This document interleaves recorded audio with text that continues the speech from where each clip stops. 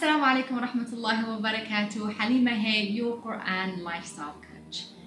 Today I want to talk about how we can become more confident.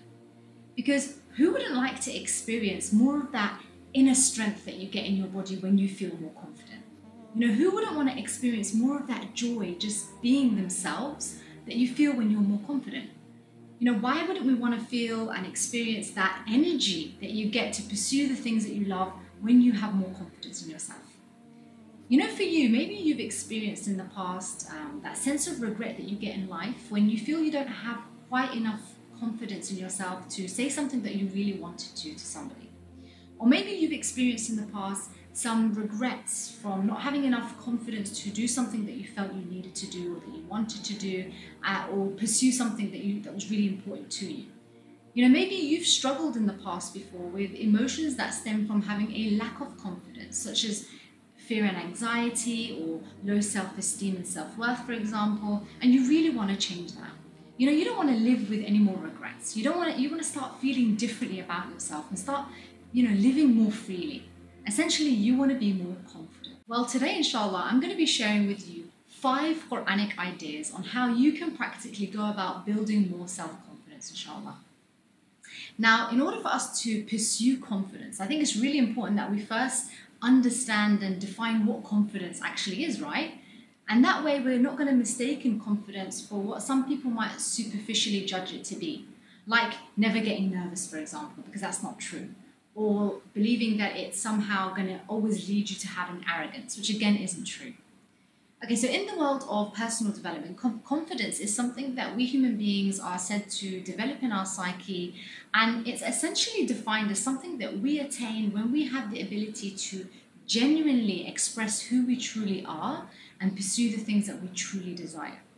So it comes from having this kind of cohesive sense of identity. So there's an alignment between, you know, who you are, your beliefs, your values, and your personal dreams, and then you authentically live that. So you're living the best of who you are on a consistent basis.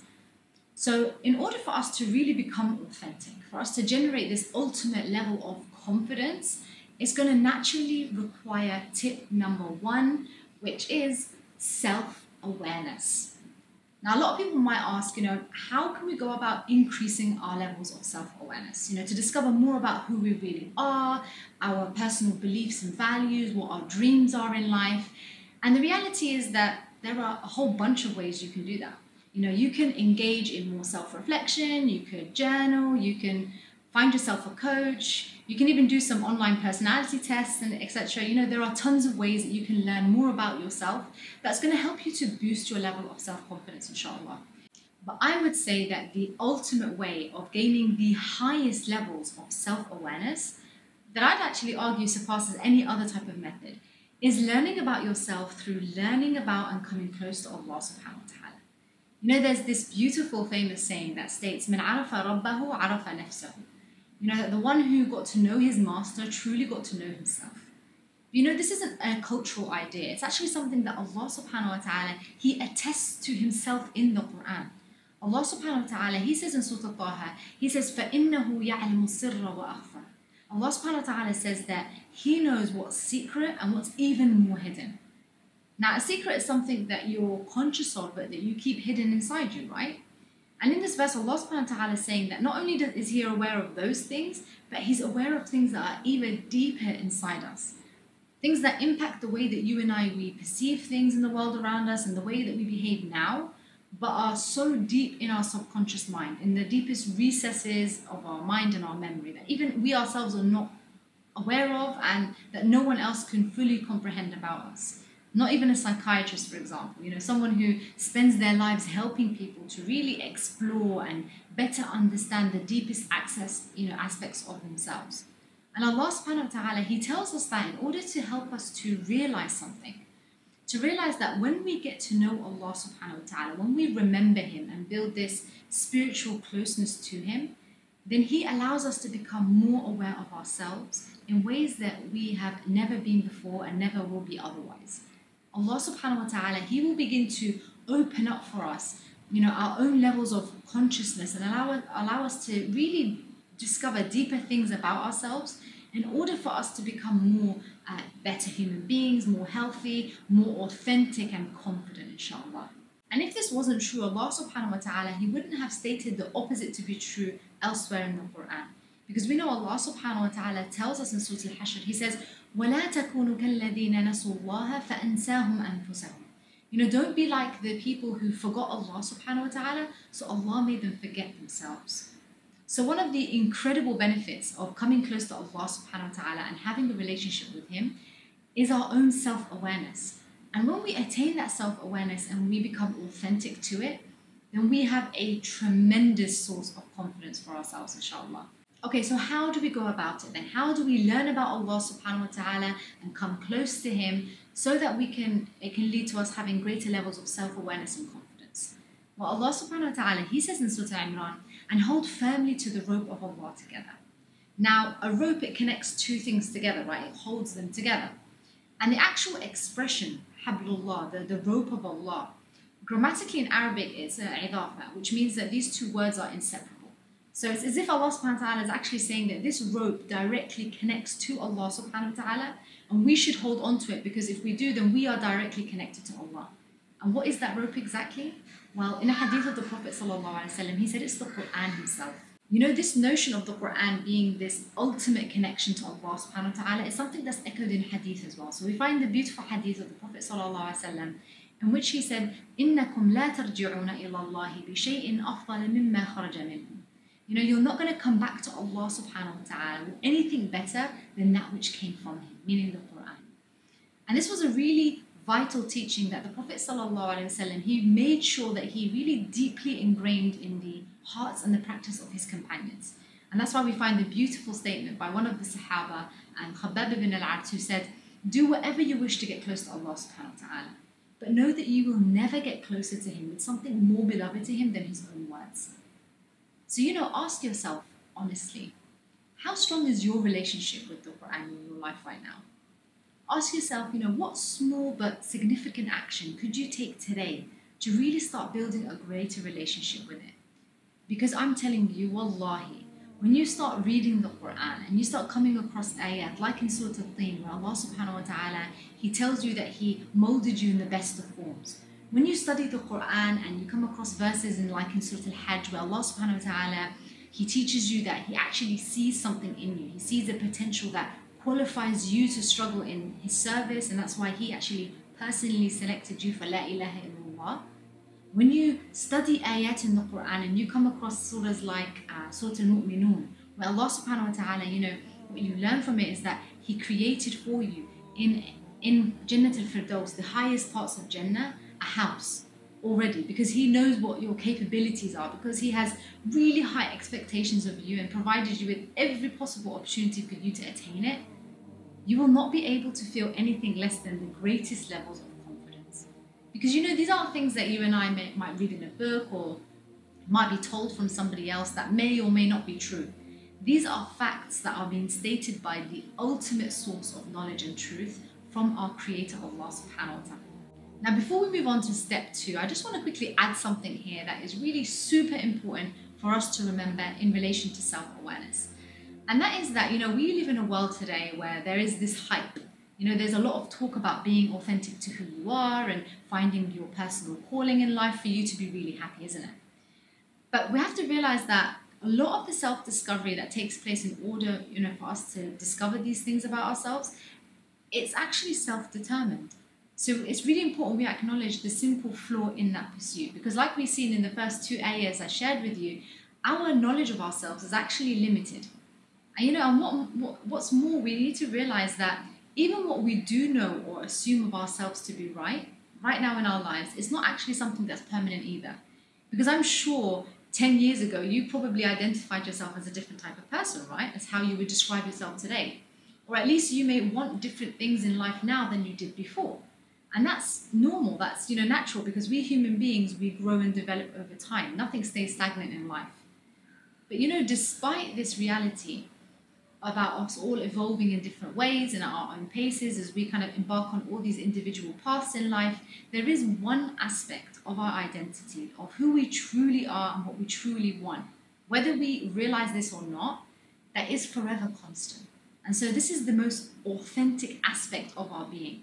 And so it's actually the secret, if you like, to ultimate happiness and confidence.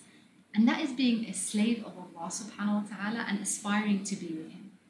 And the best way of learning more and to remind ourselves of this very liberating and this confidence boosting reality, and once again, is through the Quran. Okay, now this very powerful first Quranic idea that I shared with you, which was self awareness, is something that we work on long term, right? But there are actually some practical techniques that we can use right now to immediately help us to feel more confident, inshallah. And one of those that we're going to talk about now, the second tip, is our focus. You know, so our brains, we have to understand, are constantly bombarded with hundreds of pieces of information at any time. And in order for us to avoid being completely overloaded and in order to really maintain a healthy function, it has this kind of filtering system and it filters all the pieces of information and it extracts for us what's most important for us to focus on in the moment. And it's really important that you know that whatever we choose to focus on from the information that we're exposed to, whether that's positive or negative, we actually program our brain to direct all of our energy and our drive to achieving that result. And that's because where focus goes, energy flows. Now, you see the power of focus demonstrated for us in the Quran through two different contrasting examples through the focus of Musa salam and the focus of Fir'aun. So many of you know that Fir'aun, he once had this premonition, right? He had this dream that there would be a man that was interpreted as there would be a man from Bani Israel that was going to overthrow him, right? And so he made a choice after that day to focus on this fear that he had. He consciously dedicated all his lifelong thoughts and actions to try to prevent that prophecy from coming true. And he actually began that mission, as we know in Surah Al-Baqarah, by ordering the death of all of the male ch- children that was born to the Bani Israel, Bani Israel, right? But subhanAllah, it was actually his very actions that stemmed from this obsessive focus he had on his fears that actually resulted in that child being delivered to the very doorsteps of his palace. You know, that led Musa salam to growing up in the household of Fir'aun and eventually destroying him. And because we know that his order to kill all the sons of Bani Israel actually led Musa's mother to placing him in that basket down the river Nile in the first place, right? Subhanallah. Now, if you look on the other hand at Musa salam, you know, one of his primary goals and focuses of his prophethood given to him by Allah subhanahu wa ta'ala was to free Bani Israel from the tyranny of Pharaoh. And when we look at his story, we see the powerful effects that his positive focus um, had and the impact that it had on his levels of confidence as well. So when Musa salam, he fled Egypt with his people and they reached the Red Sea, we know that they became sandwiched, if you like, between a mountain on one side, between the, uh, the Red Sea in front of them and the oncoming army of. And you know, despite how bleak this situation looked, and despite all the negative comments and doubts that came from some of Bani Israel in that moment, we're told that Musa salam, because of his positive focus, what he was doing, he was actually moving consistently through the crowds of Bani Israel with Harun and Yusha bin Nun, focused on finding a solution to free his people. And the impact that Musa salam's positive focus had on his levels of confidence, it can be seen in the profoundly beautiful statement that he said in response to Bani Israel when he said, قال كلا إن معي ربي سيهدي you know, and with the permission of Allah subhanahu wa ta'ala, we see the successful results that his positive focus and that his confidence had in freeing Bani Israel. Okay, so with that said, if you in your own mind, you're fo- focusing all the time on your fears and what you're worried about, if internally you're constantly questioning your own self worth and your self esteem, how can you expect to feel more confident about yourself? You can't, right? Okay, so how can we then effectively direct our focus then to something that's more empowering and more positive to help us feel more confident? Well, we can manipulate our focus through the use of strategic questions. You know, questions are really powerful, and that's because whatever question we ask our brains, it will always provide you with an answer. And that's actually why we find interestingly, interestingly in the Quran, Allah subhanahu wa ta'ala, He's constantly asking us questions, right? Allah subhanahu wa ta'ala is always trying to positively guide our focus in a productive way. So instead of asking yourself disempowering questions like, why am I so rubbish at this? Or why can I never do anything right? Or what bad thing might happen if I do X, Y, and Z? which is only going to impact your levels of confidence in a negative way because your brains are going to then provide answers to affirm those beliefs. We need to actually start reprogramming ourselves to asking ourselves questions that are more empowering. Things like, what am I focusing on right now that's making me feel or act with a lack of confidence? Or questions like, what can I be focusing on right now that's going to help me feel more extraordinary levels of confidence in myself?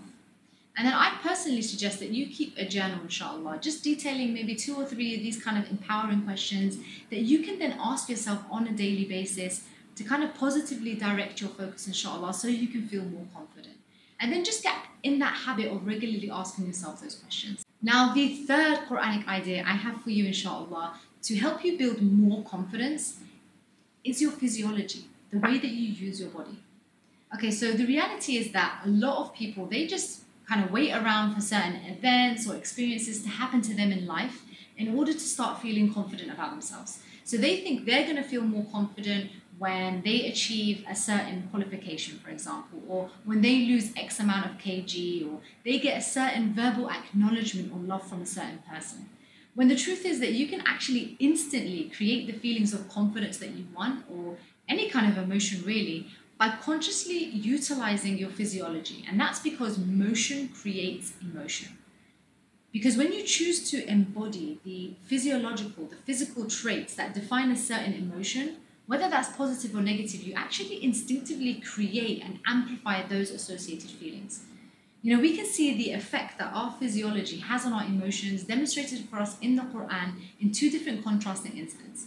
You know, if we revisit the story of Musa alayhi salam, you know, you're going to find in Surah An-Naml where Allah subhanahu wa ta'ala, he talks about that incident where Musa spoke directly to Allah subhanahu wa ta'ala. And during that meeting, we're told that Allah subhanahu wa ta'ala, he showed Musa a miracle, right? He made the staff turn into a snake. And we're told that Musa was so scared by that that he physically ran away. Now, when you are scared, what kind of bodily traits do you experience? you experience increased heart rate, for example, right? You become breathless, you have adren- adrenaline pumping around your body, correct? Now, when you physically run, what things happen to your body? Your heart rate increases. Again, right? You become breathless, there is an increase in adrenaline. So, Musa's physical response to his fear, do you see how it only intensified his fear and it trapped him in that negative emotional state? You know, we're told that in that verse, he never came back, subhanAllah. Okay, so now if you contrast that to another incident mentioned in Surah Al-Taha where Musa salam, he was confronted by the magicians of Egypt and he had this public duel in front of all the people of Egypt. Allah subhanahu wa ta'ala tells us that once again Musa he naturally felt fear, right? Of course, because some of Mufassirin say there could have been up to 15,000 magicians, subhanAllah, that he was faced with amongst, you know, all of this crowd as well. But there was a difference highlighted here. You know, in this verse, Allah subhanahu wa ta'ala tells us that Musa chose in this incident to conceal his fear. So, how did he conceive fear only in his heart? By choosing, you know, and not allowing those emotions to be visibly transferred onto his limbs. So instead, he chose to display the physical characteristics of confidence and strength by standing tall and firm, for example. And in doing so, it allowed him to control and to lower the intensity of his fear, to potentially even eliminate it. And that's the power of physiology. So, in order to really free ourselves from the emotions that are associated with a lack of confidence, like fear or worry, for example, we must consciously choose to break free from the associated physical states, right? So, we need to stop with our shallow and, and, and rapid breathing. You know, we need to stop curling our body up. We need to stop crossing our arms and legs that we're using to kind of protect ourselves and comfort ourselves and mentally block things out.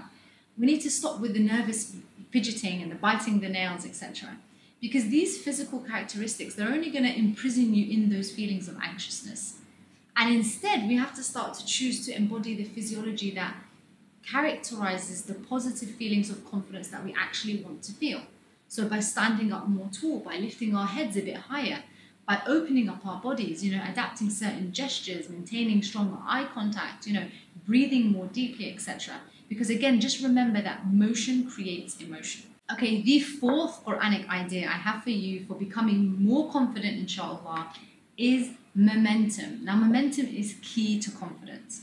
You know, it's when we stop having momentum in our life that we actually start experiencing feelings of being lost or feeling confused and we start feeling down about ourselves, we experience a lack of confidence.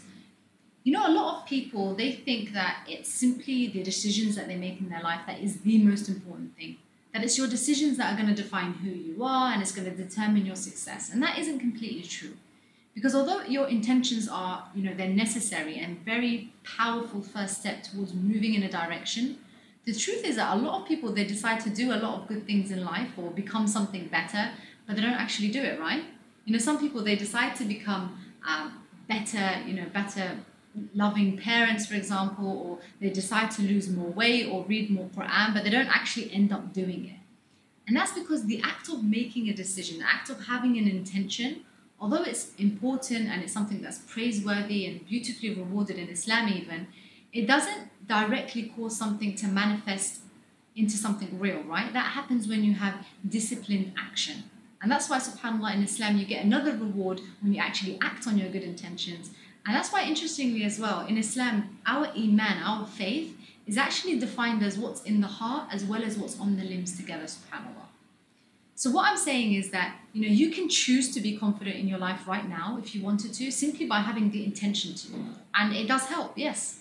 But if you really want to start feeling unbreakable confidence, you know, to really start make, feeling it more naturally emanating from within you and on a more consistent basis long term, then you're going to achieve that inshallah when you move forward through, you know, towards your goals through taking consistent action and building up momentum. Because you know, when we are consistently taking action and building momentum in life, we're progressing. And then we start hitting certain milestones and experiencing these small wins. And we also give ourselves the opportunity as well to develop competency as well on our journey. And you know, when we regularly acknowledge and connect with our strengths, all of these things they empower us and they naturally help us to build greater levels of confidence, inshallah. Now, I know some people people's going to say, you know, well, how can I start taking action, Halimah, and creating momentum in my life when I don't know what the bigger picture is yet? You know, I don't have a clear vision for my life or a clear plan of where I want to go and what I want to do. I haven't quite decided that for myself yet. And so these kind of people, they stay stuck. They kind of linger in this state of procrastination, and this just kills their confidence. Well, what a lot of people don't actually realize is that often some of the best decisions that we make in our life come after we have momentum at something. Because when we gain momentum, we also gain perspective.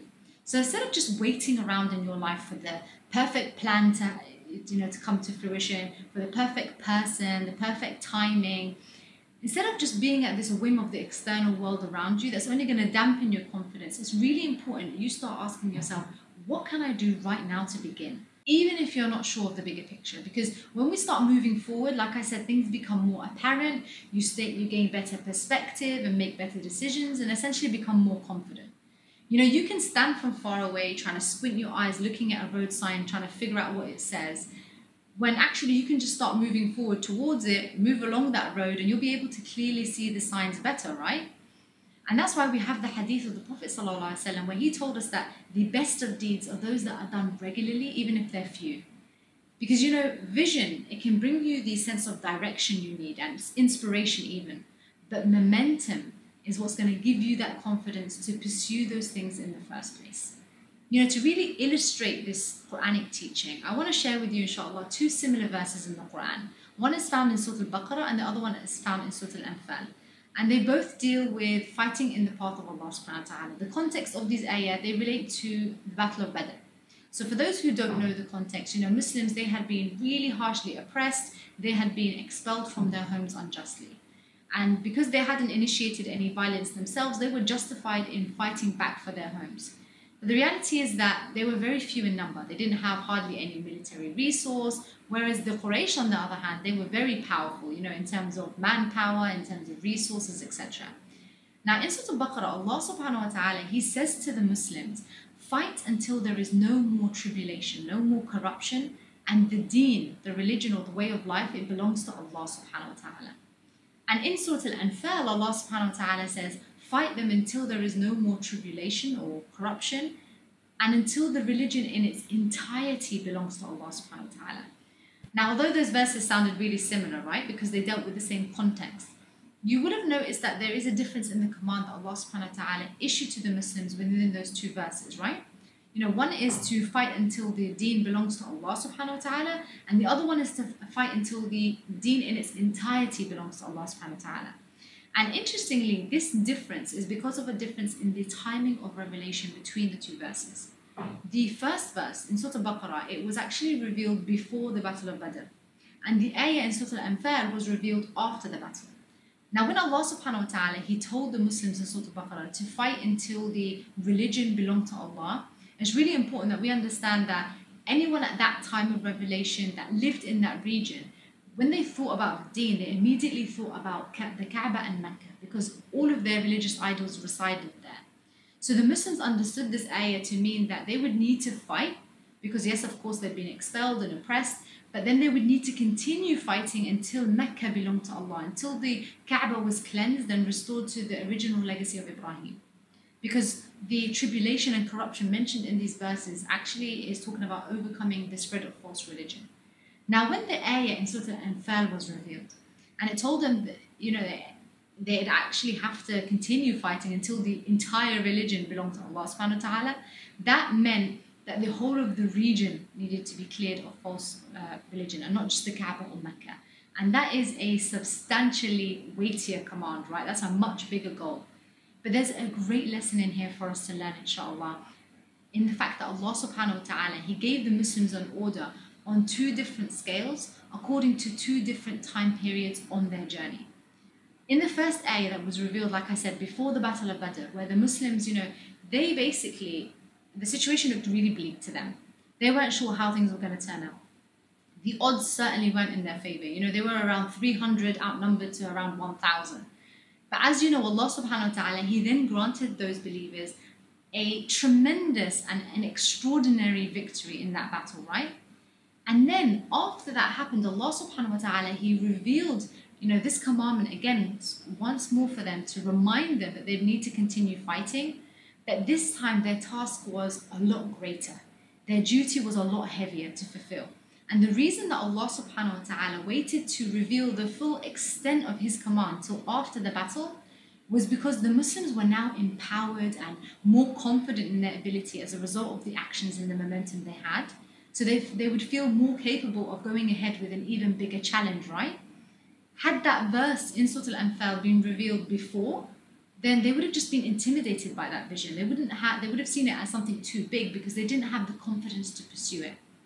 But as a result of the actions and the momentum that they gained first, then they were able to, you know, by having these smaller wins, it helped them to have a lot more confidence in their ability to go on and do bigger things, to cleanse the entire region of shirk. So Allah subhanahu wa ta'ala, in His perfect knowledge of us as His creation, He demonstrates for us in these verses how we as human beings best operate on a cognitive level. It teaches us that although vision is really key to us having direction and inspiration, momentum is what's actually really key to attaining the confidence we need to pursue our goals and dreams in the first place.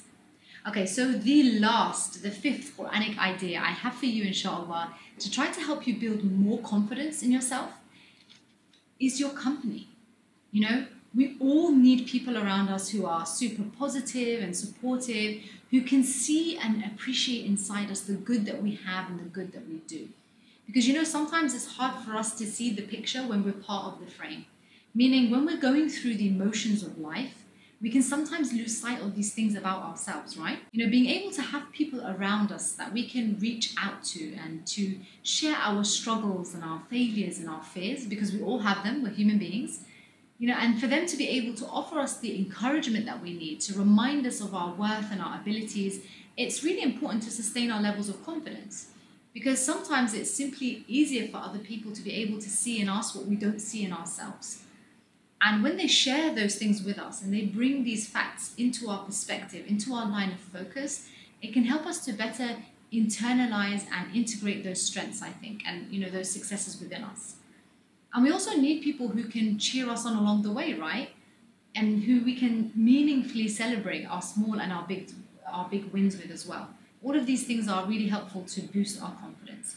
And if you look into the Quran, we see the impact and the importance of our company with regards to our levels of confidence. Again, when we revisit the story of Musa, you know, when he was given the mission of prophethood and he was told that he would need to deliver this message to Fir'aun and demand that Bani Israel are freed, he expressed to Allah subhanahu wa ta'ala his genuine fears and worries, right?